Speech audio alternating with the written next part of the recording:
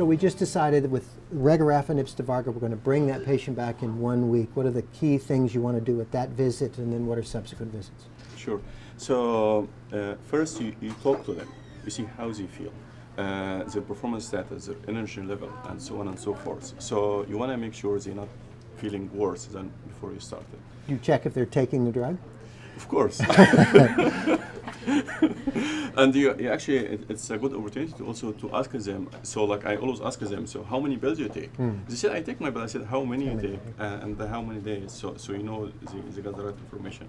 But also uh, blood work, and especially in radiography, you, you need to make sure uh, liver function is stable and, and so on and so forth.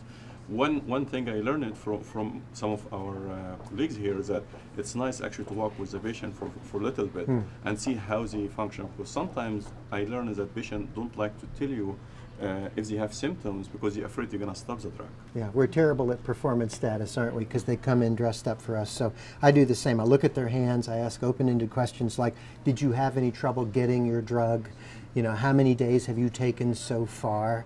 Um, so I know what I'm assessing on that day one. Because sometimes they haven't gotten it, and they've only been taken three days, and maybe it's too early to see some of the side effects. And then, depending on how they're doing, make adjustments or, or not.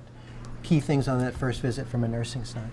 Yeah, so some of the similar things, but I'm going to go in depth and just see how they're feeling on the medication. Um, you know, are they having trouble eating? Are they having trouble with nausea? You know, are they having trouble with the hand foot stuff? Just Yeah. more in depth side effect. And then depending on how they're doing at that visit, they're back in a week or two, depending on how they were at that visit. Usually, I like in the beginning, the first like like to to bring them uh, next week to to just make sure everything is going okay. Uh, one other key element that patient also was asked about is how is this related to food. Yeah. So should he take it with food or should not uh, take it with food, and and also want to make sure they have the antiemetic and and supportive medication. Yeah, and I don't know if this is fair or not, but I tell most of my patients that the package says take it after breakfast, but I tell them to take it sort of after dinner before bedtime, because if you're going to be tired, you're sleeping it off. So, um, I, you know, the package says one, but they're loosening some of that about when it can be taken, but after a little food, right? Yes. All right. Um, I think especially getting the full picture with patients is really important so you can really know um, what's going on. The one way I do that, number one, is that a lot of these patients I already have um, a relationship with, so they're going to feel comfortable. So sometimes you can't go right into how are you feeling on this medication. You have to ask, you know, when's the when's your daughter's graduation? Sort of start the conversation that way and then go in. Another thing that's really helpful, um, sometimes the person sitting in the chair next to the patient is also a really good resource for you.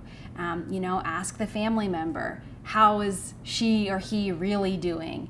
Um, you know, what are the things that they're complaining about on the daily basis at home when not when they're here um, in clinic with us. And then another thing is for, peop- for people to remember, um, I tell them to keep a pad at home. So when they're at home, they can write down, oh, yeah, this day I was feeling so nauseous after I took the pill, or this day I was having a lot of trouble with this. Those kind of things are good tips because sometimes when the patient is there, they're worried about maybe the news that they're going to get from the scan, or they're thinking about what they have to do later the day. It, it kind of becomes overwhelming in the clinic visit. If they have something like that, um, then they're able to kind of look back and refresh.